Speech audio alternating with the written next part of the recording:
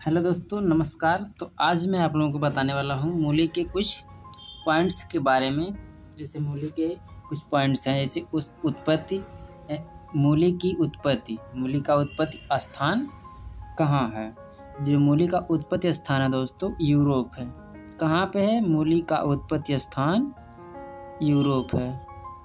फिर उसके बाद आपका है दूसरा पॉइंट कि फ्यूजीफॉर्म जड़ का रूपांतरण है। यानी मूली जो है फ्यूजी फ्यूजीफॉर्म जड़ का रूपांतरण है। ये आपका दूसरा पॉइंट हो गया। फिर इसके बाद आपका तीसरा पॉइंट उपयुक्त तापमान। यानी मूली के लिए, मूली तैयार होने के लिए जो उसका उपयुक्त तापमान है वह 10 से 15 अंश सेल्सियस। देखिए 10 से 15 अंश सेंटीग्रेड जो इसका तापमान चाहिए। मूली तैयार होने के लिए उसको टेम्परेचर की आवश्यकता होती है दस से पंद्रह अंश सेल्सियस फिर इसके बाद आपका चौथा पॉइंट है। चौथे पॉइंट में है कि मूली की जड़ों को, यानी मूली की जड़ों को बीज उत्पादन हेतु तैयार करना। जो मूली की जड़ों हैं, जड़ें हैं, उसको बीज उत्पादन हेतु तैयार करना, क्या कहलाता है? स्टेकलिंग क्या कहलाता है? स्टेकलिंग मूली की जड़ों को बीज उत्पादन हेतु तैयार करना स्टेकलिंग कहलाता है। फिर इसके बाद आपका पाँचवा पॉइंट है कि बीज दर तो बीज दर इसकी है नौ से ग्यारह किलोग्राम प्रति हेक्टेयर। नौ से ग्यारह किलोग्राम प्रति हेक्टेयर। मूली का बीज दर नौ से ग्यारह किलोग्राम प्रति हेक्टेयर है। फिर इसके बाद आपका है छठा पॉइंट।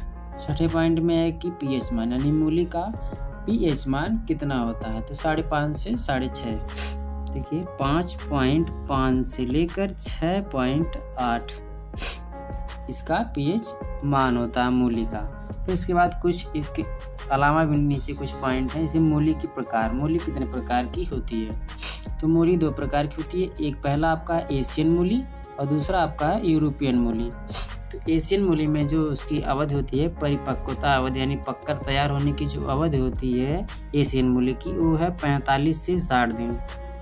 पैंतालीस से साठ दिन में ये एशियन मूली पककर तैयार हो जाती है। उसके बाद दूसरी आपका यूरोपियन मूली। यूरोपियन मूली का परिपक्वता जो अवधि होती है, वो पच्चीस से तीस दिन की होती है। यानी वो पच्चीस से तीस दिन में पककर तैयार हो जाती है। और इसमें जो एशियन मूली है, इसकी जो उपज होती है पंद्रह से बीस टन प्रति हेक्टेयर होती है। इसकी क्या होती है? पंद्रह से बीस टन प्रति हेक्टेयर होती है एशियन मूली की। उसके बाद जो यूरोपियन मूली है, उसकी उपज जो होती है पाँच से सात टन प्रति हेक्टेयर होती है। इसकी जो है पाँच से सात टन प्रति हेक्टेयर इसकी उपज होती है। तो हमने आज मूली के बारे में कुछ जाना। आज के लिए बस इतना है, फिर मिलते हैं अगले वीडियो में। तो अगर हमारी वीडियो पसंद आए तो वीडियो को लाइक और चैनल को सब्सक्राइब ज़रूर करिएगा। मिलते हैं अगले वीडियो में, तब तक के लिए धन्यवाद दोस्तों।